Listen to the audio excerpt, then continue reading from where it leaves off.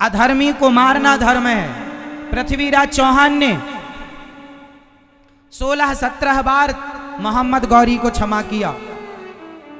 बोलो हाँ। पृथ्वीराज चौहान ने मोहम्मद गौरी को सत्रह बार छोड़ा और एक बार उसने पकड़ लिया तो उसने एक बार नहीं छोड़ा। तो ज़्यादा तुम धर्म का पाठ, ज़्यादा तुम धर्मात्मा ना बनो। तुम ज़्यादा धर्मात्मा बनोगे तो मोहम्मद गौरी तुम्हारी आँखें फोड़ देगा, इसलिए जैसे मार सको दुष्टों को मारो। यही धर्म है। छोड़ दोगे, तुम्हारी आँखें फूट जाएँगी। सही वक्त पर मार दिए होते, जिन्ना जिन्ना ने भारत के टुकड़े करा दिए। महात्मा गांधी से कहा, हमें अलग देश चाहिए। दो चार थप्पड़ मार दिया होता मोहम्मद। जिन्ना को महात्मा गांधी ने दो चार छप्पड़ मार के किनारे कर दिया होता तो आज भारत के तीन टुकड़े ना होते। पाकिस्तान, बांग्लादेश, दो टुकड़े हो गए भारत के।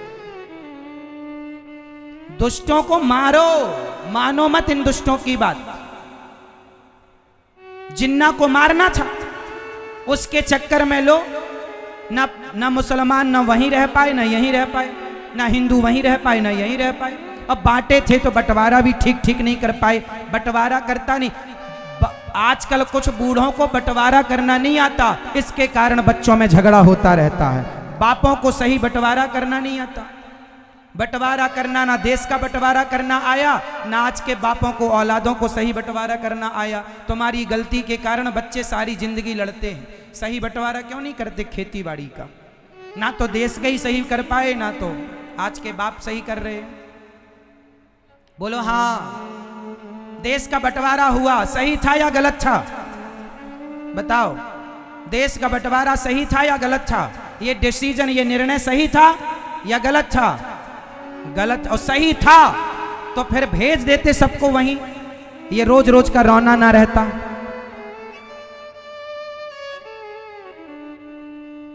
इसलिए हर निर्णय बूढ़ों ने सही लिया है। ऐसा नहीं कह सकते आप। कुछ डिसीज़न बूढ़ों ने गलत निर्णय लिए हैं। जिसका खामियाजा आज तक हमारे देश के 1947 के बाद आज तक हमारे देश के लाखों जवान मारे गए।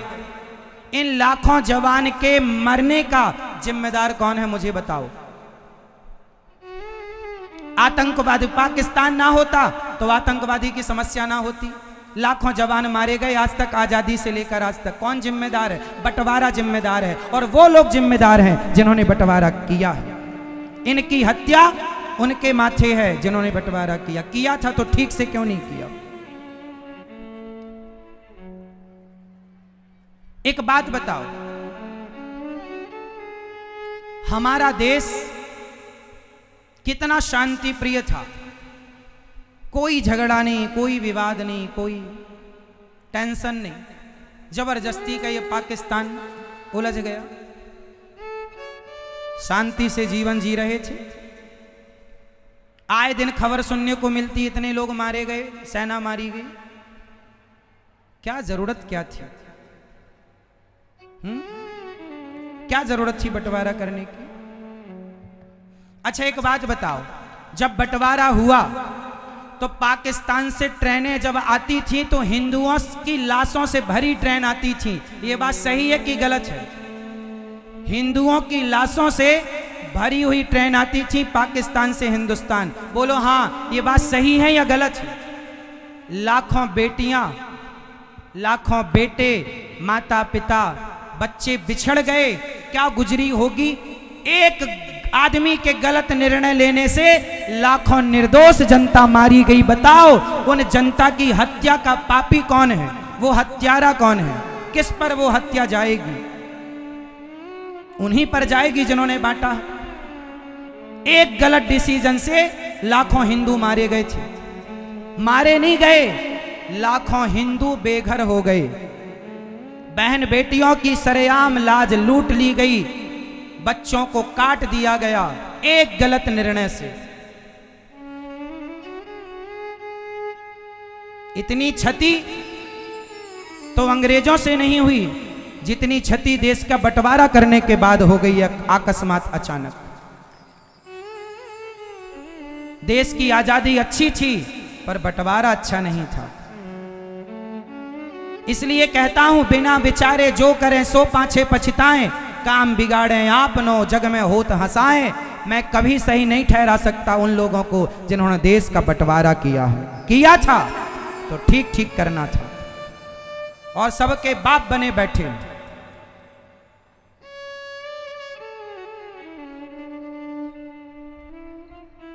अब तो यादें पुरानी हो गई साहब। पूछना कभी उन लोगों से जिनने अपने बच्चों को खोया था उस बंटवारे में। परिवार को खोया था बंटवारे में। ढूंढे नहीं मिले बच्चे, लाशें नहीं मिली उनकी। आज तक लापता है। इसलिए एक गलत निर्णय सारी ज़िंदगी रुलाएगा। किसी का हो, मेरा ही क्यों ना हो, आपका ही क्यों ना हो, किसी का ही क्यों ना हो।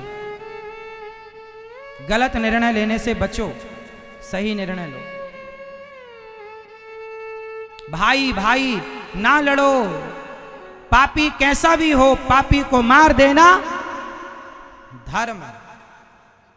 इसलिए जैसे दुर्योधन को अधर्म से मारा गया, क्योंकि दुर्योधन जैसे पापी को अधर्म से मारना धर्म था, उसी तरह बाली जैसे लोगों को अधर्म से मारना ही धर्म था।